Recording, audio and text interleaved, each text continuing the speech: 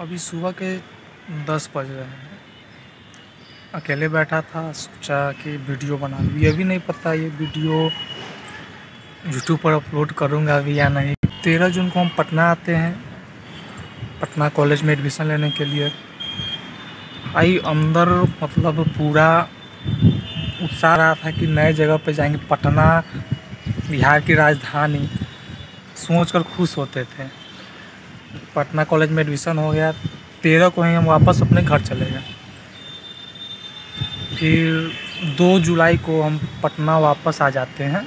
Room, flat हैं, लिए हुए हैं यहाँ पर, वहीं पर। दो जून के, दो जुलाई के बाद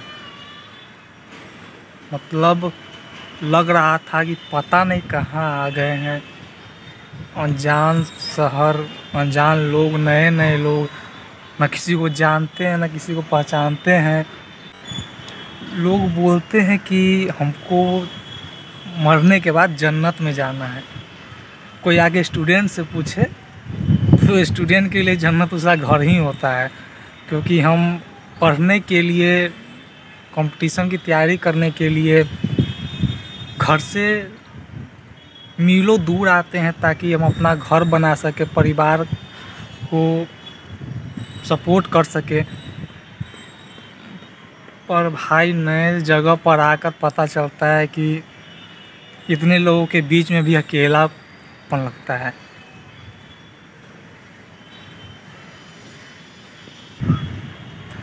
हम पटना आते हैं दो जुलाई को। आज है पाँच जुलाई। आज ही मन करता है ना कि भाई सब कुछ छोड़कर घर चले जाएँ, पर जा भी नहीं सकते हैं। माँ बाप बड़ी उम्मीद के साथ पटना छोड़ के गए कि बेटा पढ़ेगा, कुछ बड़ा करेगा। चुप रह जाते हैं। क्या कर सकते हैं? हम लड़के हैं साहब। घर बनाने के लिए घर छोड़कर मीलों दूर आना पड़ता है हमें। मैं आपको बताता हूँ, जब दो जुलाई को हम पटना आ गए, तीन जुलाई को हम अपने कॉलेज गए थे। एक तरह से उत्साह था कि हाँ भाई कॉलेज देखेंगे अपना पहला बार। पहला बार कॉलेज गए। कॉलेज के अंदर एंट्री लेते हैं।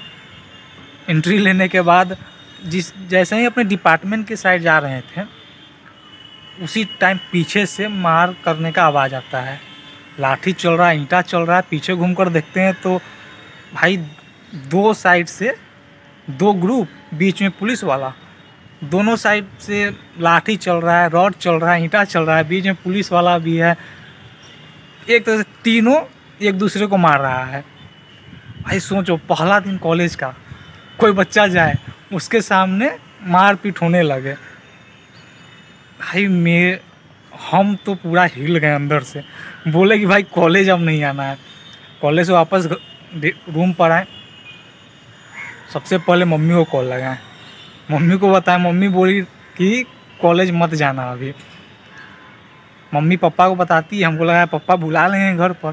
पापा बोलते हैं हमको कि इतना से डर जाएगा तो आगे अभी बहुत कुछ देखना है कैसे देखेगा, कैसे चलेगा।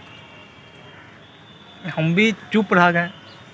बोले कि उनका भी बात सही है, चार साल का ग्रेजुएशन है, पहले दिन डर जाएँगे ये सब देख कर तो काम तो नहीं चलेगा।